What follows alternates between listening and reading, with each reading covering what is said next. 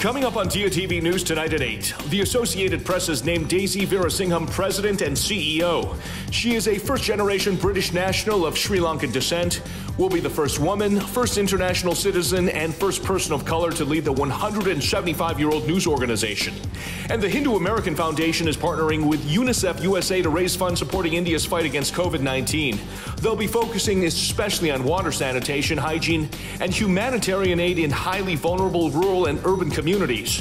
UNICEF is also helping train frontline workers. And the National Gallery of Australia will hand back another 14 Indian antiquities linked to a disgraced international dealer as part of a campaign to remove looted items from its Asian art collection. Officials say the 13 objects, worth about $3 million, include bronze and stone sculptures, a brass processional standard, a painted scroll, and photographs. Those stories and all the news tonight at 8. Join us.